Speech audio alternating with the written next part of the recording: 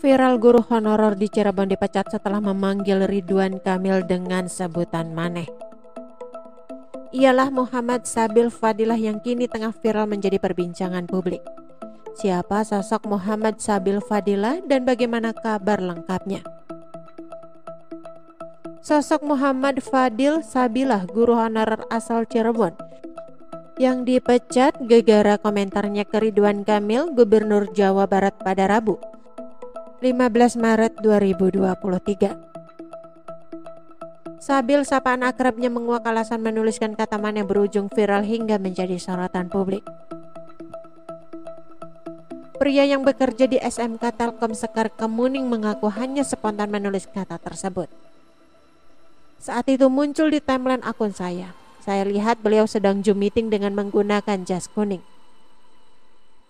Di situ saya mempertanyakan maneh teh kerja di Gubernur Jabar atau kader partai pribadi Ridwan Kamil tutur Sabil.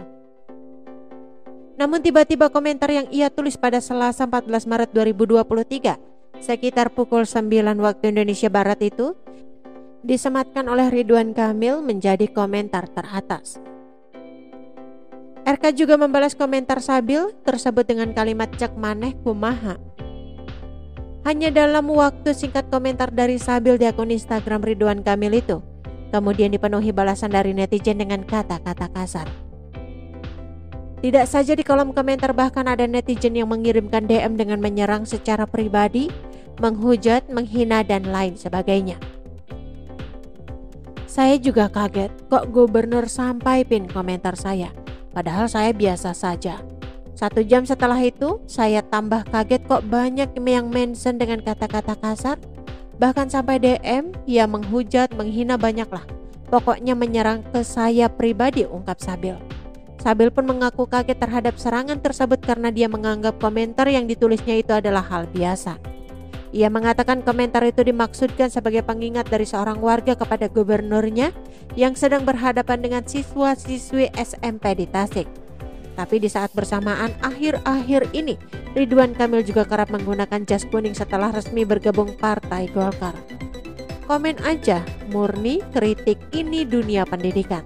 Tapi ada simbol yang berbeda seusai dengan warna jas kuning yang lagi sering dipakai dan saat ini dia sedang berada di dunia pendidikan yang tidak boleh disusupi politik praktis apalagi sekolah dalam hal ini sekolah jelas stabil.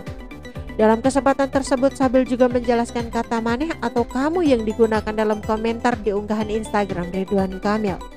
Sabil menuturkan penggunaan kata maneh semata-mata karena ia menganggap Ridwan Kamil adalah sosok yang terbuka. Ia juga menilai RK sebagai orang yang akrab dengan followers juga dengan banyak warga lainnya.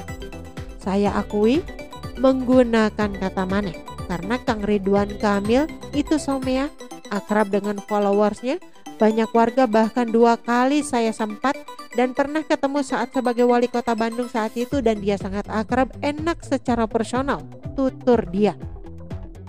Oleh karena itu dia mengatakan bahwa tidak memiliki tujuan merendahkan apalagi tidak sopan terhadap Ridwan Kamil dengan menggunakan kata maneh.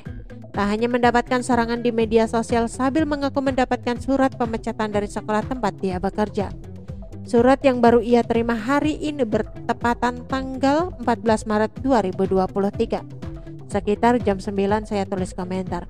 Jam 10 waktu Indonesia Barat ramai. Dan beberapa jam kemudian saya ditelepon sekolah, hari ini saya mendapatkan surat pemecatan tersebut ucap Sabil. Dijelaskan pula tiga pertimbangan kenapa ia dipecat yakni melanggar kode etik, melanggar tata tertib yayasan dan Undang-Undang Nomor 14 Tahun 2005 tentang guru dan dosen. Dalam surat tersebut menerangkan per 14 Maret 2023, SMK Telkom Sekar Kemuning Kota Cirebon mengakhiri kerjasama yang bersangkutan sebagai guru tidak tetap dan tutor eksekutor konten kreator. Terkait pemecatan tersebut, Ridwan Kamil mengaku sudah menelpon sekolah tempat Sabil bekerja dan meminta sekolah tidak memecat Sabil.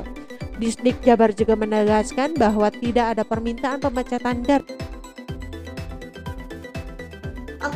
Teman-teman itu sedikit berita dari channel blog berita. Sampai ketemu lagi di berita-berita selengkapnya. Assalamualaikum. Bye bye